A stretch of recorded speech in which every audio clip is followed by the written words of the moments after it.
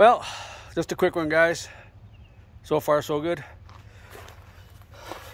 Got the pins out. No worries what's that whatsoever. Got the line off. Oh, I might have it stuck in there now. No worries on that. I'm replacing this anyway. I just want to make sure I don't get any uh, brake fluid leaking all over the place. Hopefully that comes apart okay. The other good news, well, these are all my parts that I got from work. So these are the pins, and um, it's interesting how these pins work, really. I think it's kind of cool. And they're, they're actually kind of shiny too, as you guys can see. I didn't touch these. Uh, I did kind of clean this thing up, because I'm going to be painting these. Just want to dry it out. This came out no problem whatsoever. And uh, that actually turned out. I actually took it out, cleaned all the threads, cleaned up all the way around this so I know the bleeder.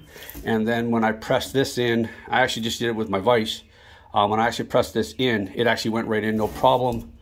And uh, brake fluid squirted out of there. So this caliper is ace. Incredible for a 1993. I don't know. This thing had quite a bit of rust on it. You can kind of still see there where it's layered. And I did my best to get all that layering stuff off. Um, but, you know, it's material, so it's going to be part of it. And when I paint these things, I'm just going to paint them black. I'm not going nuts. Um, it'd be nice if I could polish these right down to steel, but um, I got to brake clean these, get all this stuff off here, and then uh, mask off all the important spots. And I'll be painting this later on down the road when I get the other one. So, so far so good.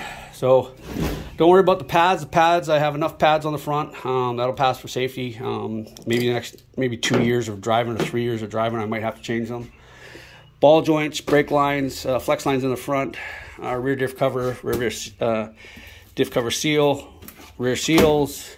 You guys can guess what all that stuff is. These are actually my wheel sealers. It says right there, Dorman. So yeah, and then uh, those that box right there actually has my speed nuts for actually mounting the uh, the bed the way it's supposed to. So this is actually the this is the stuff you get from Ford. So that box um, other those guys had that thing installed completely wrong.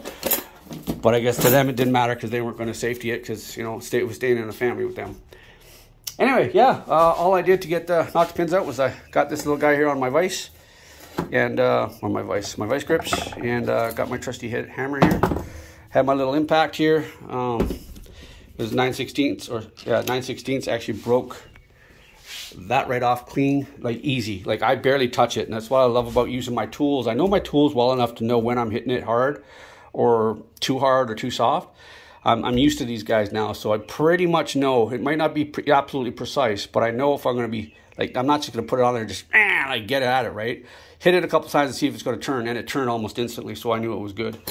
Um, the bleeder was 11 mil. So like I said, even right now, if I put this thing on here, um, and let me just uh, get her on and just jerk it. See if I can set you guys up. I don't know if you can see that or not. Try to get down or so. Where is it? Right there. And, uh, oops. Whoops. Off camera. But, uh, yeah. There she is. And I can just... Oh man. I put this thing on too tight. No, there we go. Sorry. So anyway, yeah. So 11 mil, and I did crank it down so as you guys can see it turns. And if I bring it all the way out, you guys can see how clean those threads are. That's some brake fluid leaking out. But um, yeah. So bleeder screw's good. Um, brake line screw's good. Caliper still good. Boots are good. This thing is uh, good. so yeah, like I said, I'm gonna brake clean the thing, get some oils off of it there, and uh, I'm gonna have to grease all this stuff up with brake grease. Obviously, I like to grease these up too, so that nothing sticks to it. No, no noisy stuff when you're applying the brakes. And anyway, so yeah, just a quick one. I think there's enough videos out there showing you guys the progress of taking all this stuff apart. I mean, be honest with you, I watched a few videos, so I kind of know what to expect on this. But if you Google it on YouTube, you'll find it. So I'm going to take my four-wheel drive apart, which I do have all the tools for that, thankfully. Um, and uh, when I take these apart, just a little note, when I, I will get a like a coffee cup, like a Tim Hortons or whatever coffee cup, and as I take it out, I put it in the cup. So when you're done, whatever on top goes in first. So it, it's like a cake. Um, so I have been spraying these with WD-40 Specialist um, Blue Flame stuff. I've been spraying these things for well a while and that's why it looks so wet. I did just spray these again but i'm spraying everything uh, as often as i can because i want it to soak in. I want like i really want the stuff to soak in. On this side too which is going to be the right side. Um, if if the guys have to uh, do a wheel alignment on here which i'm pretty sure it, it, does i've actually been spraying these as well on both sides. And there's a, a cam ring right here so when I, I, get this out, again, in videos, you guys will see it. So when I get this nut off um, and go to press this out, I also have to take this out, which in this case here, it looks like it's welded to the truck. So that might be a little harder for me to get off. Um, it'll be interesting to see. But that's got to come out because when I want to get the wheel alignment done on this, it's going to be a little hard.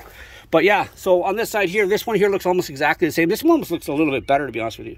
But all I did was uh, I punched here and then that, that one starts to slide. And as it does, it actually starts to slide this, but I punch here, bit punch there to take it out as evenly as I can. I did the same thing on the bottom.